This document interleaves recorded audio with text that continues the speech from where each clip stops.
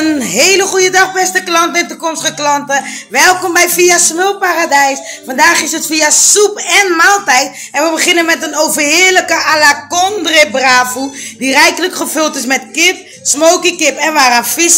En als het maaltijd hebben over Karu moxalesi, oftewel een moxalesi gemaakt van mais. Met daarin smoky kip en daarop kip uit de oven erbovenop. En voor de liefhebbers een versie met agumiti erbij. Dat is de soep en maaltijd van vandaag. En morgen donderdag 8 september gaan we lekker smullen van twee maaltijden. Namelijk een massoes moxalesi gemaakt van bakkeljauw en waravisi. En als tweede gerecht hebben we lekkere witte rijstmaaltijd. Maar wat erop is, dat blijft de verrassing. Dus voor nu kunt u lekker bellen. Of je komt gauw deze kant op. Want je weet het hè. Bij Via Smulparadijs kan je lekker smullen en je maagje vullen. Nou, tot straks. Bye bye.